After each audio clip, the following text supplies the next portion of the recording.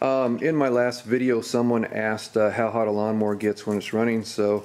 I got this lawnmower started and running and it's up to operating temperature and I'm going to use an infrared thermometer and show you the temperature of the uh, cylinder head spark plug and muffler. Um, you'll notice that the engine's kind of running rough and that's because the mower's been sitting so long that the uh, carburetor got dirty so but it's it's running good enough for this video. Um, also, I don't know if I'm going to be able to speak while the engine's running, if you'll be able to hear me, so um, I'll try, but I'll also make sure I get the uh,